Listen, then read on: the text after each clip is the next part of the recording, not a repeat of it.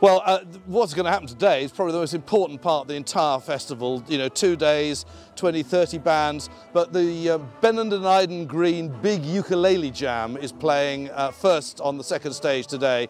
Now, as far as I'm concerned, that's the key uh, thing because it's the one that I play in. Um, and uh, there was some talk of dropping us, but um, I said, if you want to use my field for your festival again, you're jolly well going to let us play uh, our ukuleles. So uh, we're not expecting a very large audience. In fact, we're not expecting an audience at all, but anyone that's hanging around the bar might just have to listen to us, you know, for a while. It's part of this whole two-day thing that's now been going for 13 years, is it? I think this is the 13th year, but the 12th festival, like Glastonbury, we took a year off, you know, just to, to rest and recuperate. Uh, but we're, we're, back. And it started when uh, a friend of mine, uh, who's a member of the Grateful Dead uh, Traders Society, European Traders Society, uh, came to a party of mine, looked at the field and said, wow, how about having some couple of Grateful Dead cover bands there for one of our, one of our dues? And I said, well, I suppose no harm. And that started the first year as a tiny little, uh, little gathering, a one-day gathering, and it's grown and grown and grown. And then we got the second stage, built the second stage uh, for some uh, non-Grateful Dead bands, uh, you know, and more modern stuff and more local stuff. Uh, and that's what's happening. And it's, uh, it's just a fantastic fun and a huge variety of music. We are the Benenden and Iden Green Ukulele Jam, and we shorten that to the Big Ukulele Jam. That's who we are. Is that okay? What are we doing? Hooray! and we're, what we're doing this, um, this morning is uh, a couple of weeks ago, it was suggested that maybe we should do all the songs that were sung at Woodstock. All the songs? No, not all the songs that were sung at Woodstock. all the songs in our set would be ones that were sung at Woodstock. And for some reason, that ended up being policy. So about three days ago, we decided to learn them. And uh, and here we are. Oh, one, two, three, four.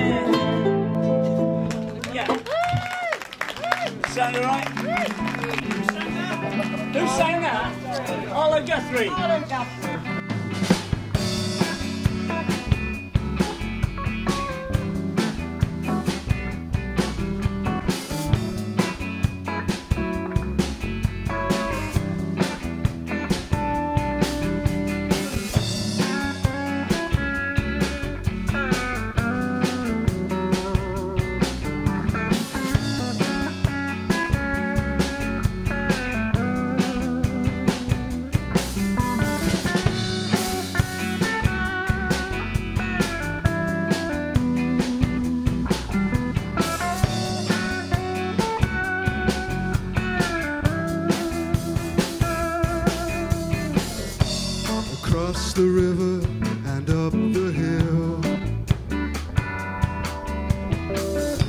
The valley's sleeping,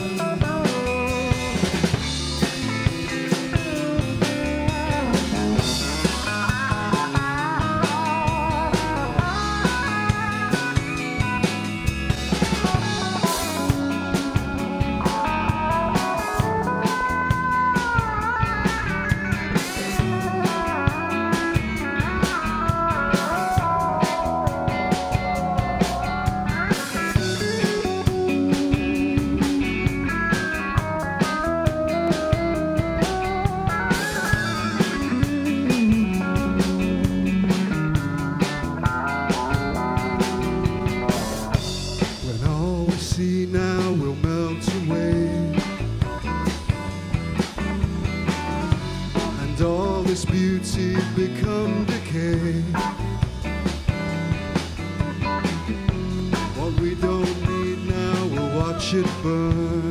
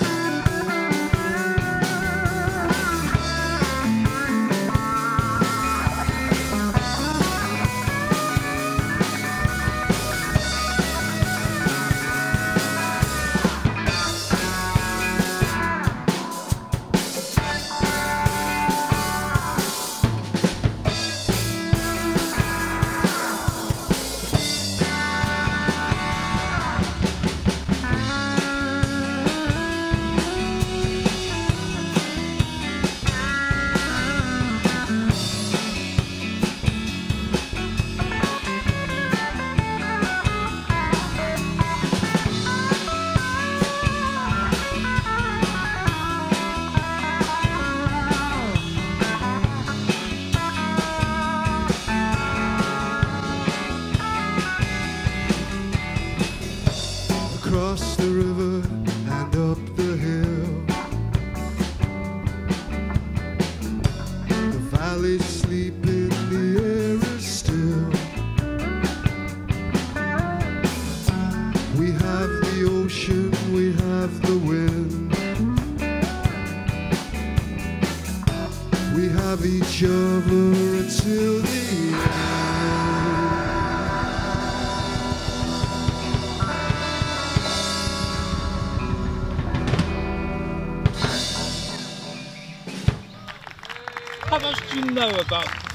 Woodstock? A lot of the older people here are here because they, they developed an interest in festivals back in those days. Um, not much at all about Woodstock, other than I think um, the Who's Baba O'Riley is said to be based on that festival. So it's meant to be a wild one. That's all I know.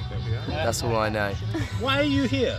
Um, we come every year, been for the last 12 years as a family. Um, well, for every year, every 12 years. Um, and it's it's just a nice atmosphere. It's fun just to come and camp out and just chill out and listen to the music. And the food's good? Honestly, just for us, it's kind of more of a tradition thing than anything else because we've been coming a lot. It's dad's sort of music, so we come along, kind of chill out with him for the weekend. Um, but it's nice, it's different to other festivals that we normally go to. Well, it is the festival out of every, any festival. This is the festival. It's the right size, the right people, right vibe, right music, right everything. People are wonderful. They literally are wonderful, actually. No lies.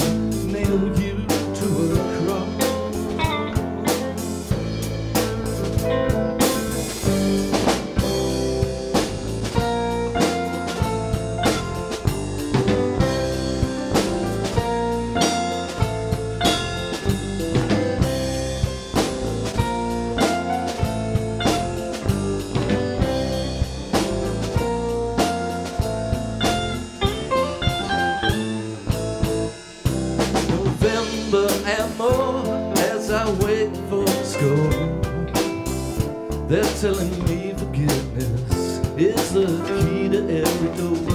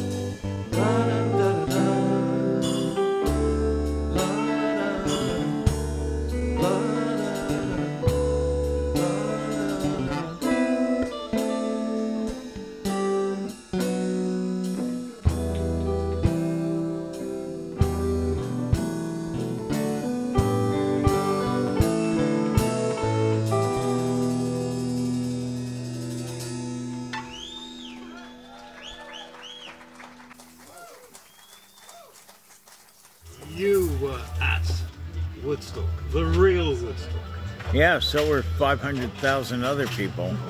It's not a unique position, believe me. Why did you go in those days? What was it that, that took you there? And they paid me.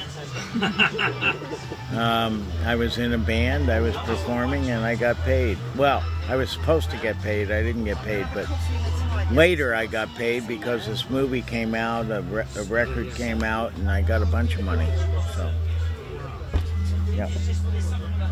In those days, we thought we could change the world with, with music and with peace and no war and love. If that's what you thought, you were naive.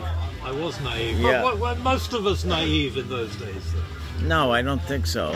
I think there were a lot of pragmatic people. I, I think we had aspirations, but I don't think the aspirations were necessarily the reality that we thought we were in. What reality did you think you were in? Uh, you know, 1969 was a real breather because they had killed Martin Luther King the year before. They'd killed Robert F. Kennedy. There were assassinations, riots in the cities. Uh, we thought the world was coming apart, quite frankly. We didn't think that we were sanguine and there was a reason to believe that we were somehow above it all. It was people power, though, wasn't it? People, people said no, or people said they were pissed off. Yeah, so what? I mean, they didn't pay any attention to us. Uh, it's kind of like now. they're, they're not paying much attention to us now. You know. All these years later, you're at a wonderful little, friendly, cuddly, fantastic little festival here. What do you think of this little festival? Oh well, I've been coming here for 15 years or something like that, whatever it is. But uh, this is this is a nice festival. People are have a good attitude here. It seems to be just fine. I like it a lot. Are you surprised to see so many young people here? Because it's a wonderful mixture of, of older sort of hippies and lots of young people and clever music making young people too. The amazing thing about sex is if you keep doing it, you'll have young people, more and more of them. Yeah. What do you think the world will be like musically in the next 50 years? Um, you know, it'll keep progressing. Uh, that's what happens. It's a natural law of, you know, and it'll address whatever issues need to be addressed. And hopefully, musicians will remain in the vanguard and, you know, push things a little bit. Thank you. Good luck to you. Thank you. Pleasure to meet you. Yeah. Slightly off camera, what do you think of Trump? You can say it on camera or off camera. I don't care whether it's on or off camera. He's a horrible human being. It's too bad we've arrived at that place. I mean, he is a truly horrible human being. And you're not much better off with Boris Johnson. So that's what I think.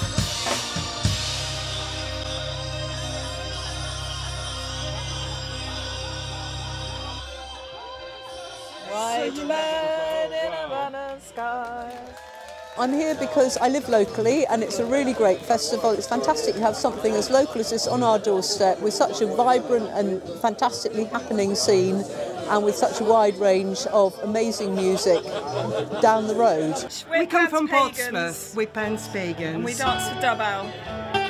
And we do a lot of festivals. We did one last year here, and you guys liked us so much you booked us again. So keep going. this is a a love song.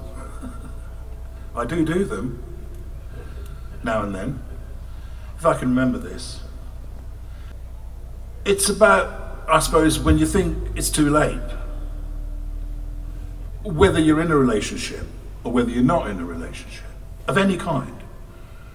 And as the years go by, sometimes it's it's going to happen. You think, I wished I'd done that. I wished I'd said that. I wished, I wished I hadn't done that. I wished I hadn't said that. And sometimes people say to me, Have you got many regrets? No, not really. It's been a fantastic, fantastic journey. And I'm sitting here looking at you lot, and I can see you've been on one as well. We're not in such bad shape, are we? Not really. No. Anyway, I'm not going to do that song, actually. I'm going to do something else instead. Now I said what I just said and about us being in reasonable shape and stuff. It's not so long ago, although it is really, I've been telling this story, you know. People used to say, you coming round for a smoke? Yeah. Listen to some music? Yeah. Shall I put a record on? Mm. I can't remember where my record player was at the time. Now, of course, vinyl's become fantastically popular again. And I'd sit there having a smoke, and that was the best bit. Listening to Jefferson Starship, Grateful Dead, you know and occasionally something really fabulous like Pearls Before Swine, the Balaklava album, you know. But most of the time it was what I'd always listened to, and I thought, this was the soundtrack of me being a kid. And I'm not anymore, you know, I'm listening to oh, everything dubstep, you know, I love techno, I love that sort of dirty, filthy metal kind of dance thing. And I love lots of things. I mean, that kid Billie Eilish who was on Glastonbury this year, yes. absolutely stunning. The Chemical Brothers stole the show for me, I think, really. And those poor fuckers with Liam Gallagher, I mean, you know, they look so terrified and bored. You couldn't be more disinterested in back in some way, surely. So, you know, people say, don't you think the 70s was the time? And my answer is no. It was good, it was good. I was there.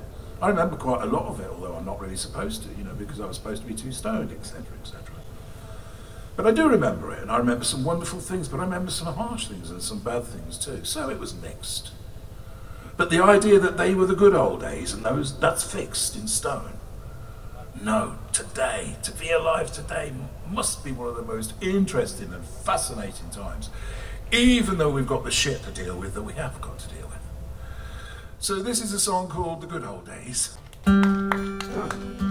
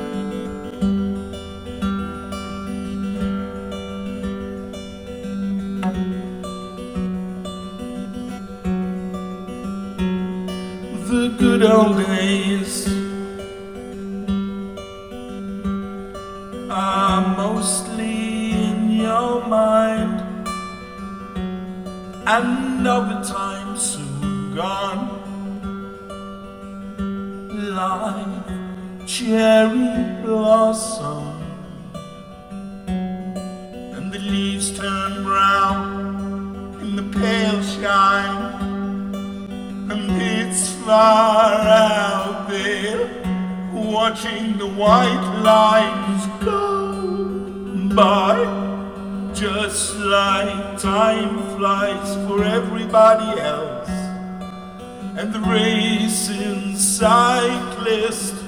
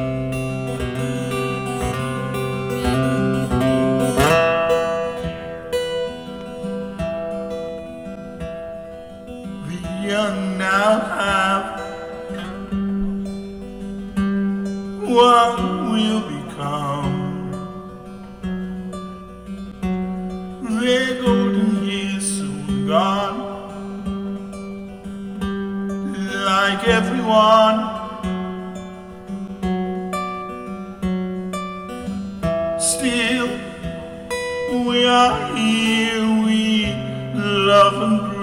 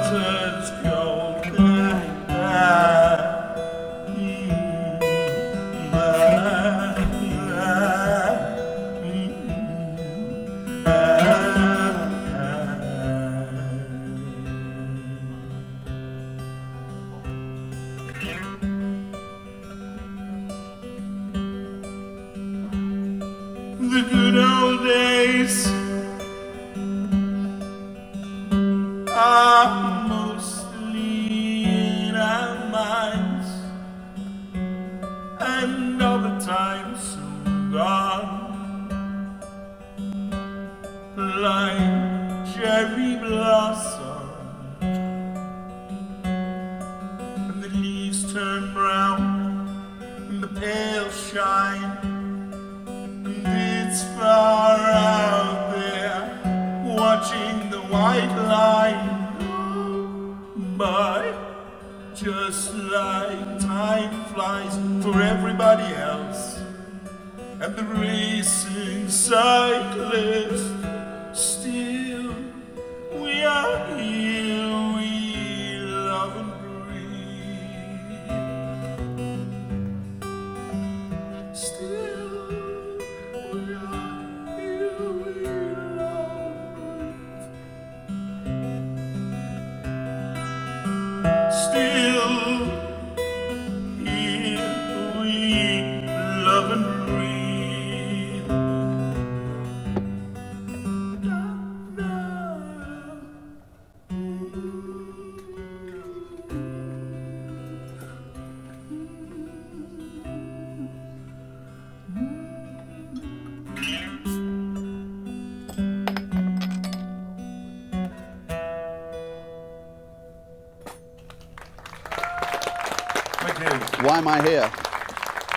Because I love the Grateful Dead.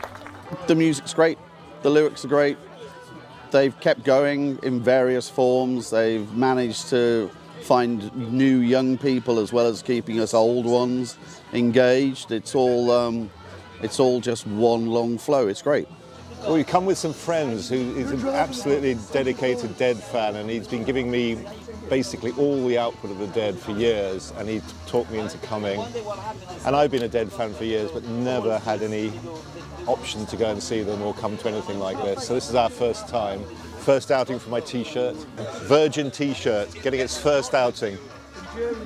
And I've had it for years, so it's a good opportunity to wear it. I'm here because I'm playing with the band and I love the Grateful Dead. Why do you love the Grateful Dead? I've loved the Grateful Dead since 1971. Any time in my life I have a problem, I go to the Grateful Dead because they encapsulate so many different kinds of music, so many moods, etc.